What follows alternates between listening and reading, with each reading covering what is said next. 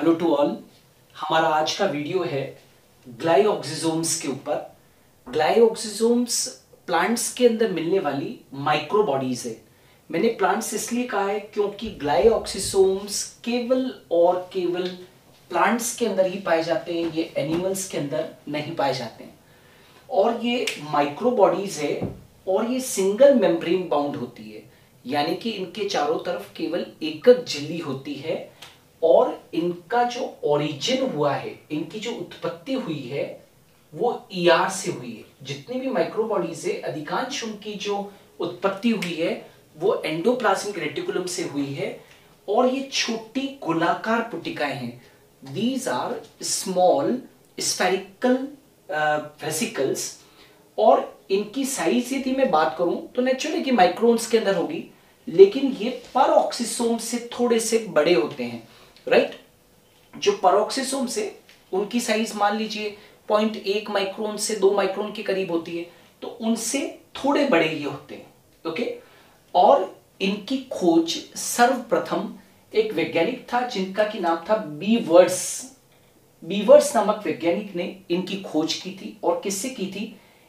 Germinating castor beans जो germinating castor beans होते हैं, उनके एक्सट्रैक्ट से किसकी खोज की गई? That is known as the glyoxysomes की खोज की गई। Okay okay?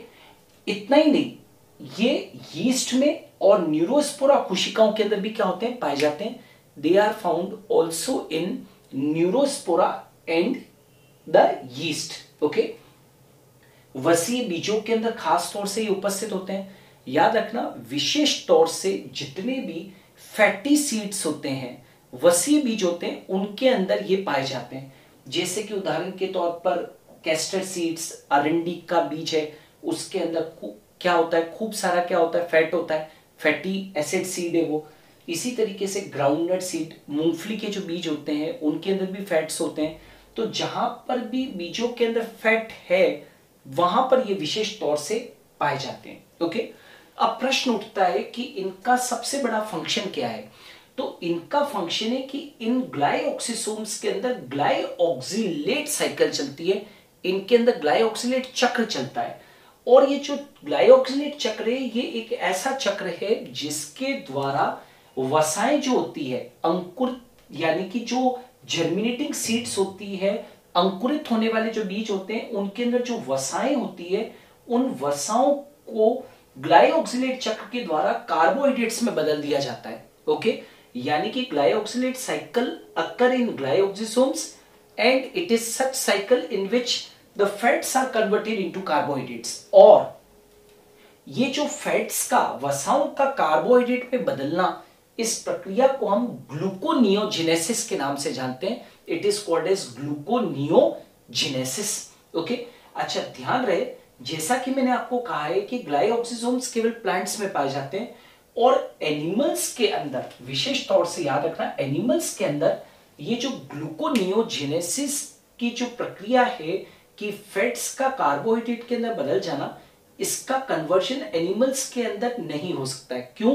क्योंकि उनमें ये जो ग्लाइऑक्सिलेट एंजाइम्स होते हैं, ये नहीं पाए जाते हैं। ओके और याद रखो कि जर्मिनेटिंग सीड्स के अंदर जो एंजाइम्स होते हैं वही क्या चलाते हैं? ग्लाइऑक्सिलेट चक्र को चलाते हैं। तो मैंने यहाँ पर ग्लाइऑक्सिसोम्स के अंदर मिलने वाले कुछ एंजाइम्स लिख रखे हैं। वो देखिए, जो ग्लाइऑक्सिलेट साइकिल के लिए इंपॉर्टेंट होते हैं।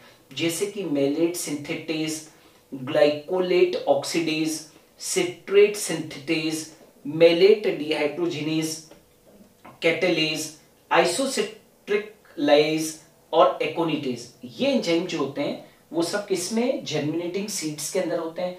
और यही एंजाइम इनके अंदर उपस्थित जो वसा है, उसको कार्बोहाइड्रेट के अंदर क्या कर देगी? बदल देगी। तो हमारा जो आज का वीडियो बेस्ड था, वो ग्लाइऑक्सिसोम्स के ऊपर बेस्ड था। कीप वॉचिंग माई वीडियोज़ यदि आप इस वीडियो का स्क्रीनशॉट लेना चाहते हैं तो आप ले सकते हैं।